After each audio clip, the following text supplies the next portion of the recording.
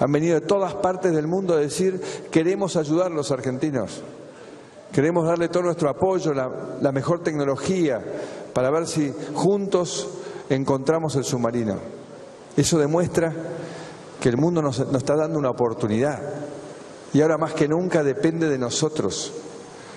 Depende de nosotros que seamos capaces de demostrarles que aprendimos de verdad de nuestros errores.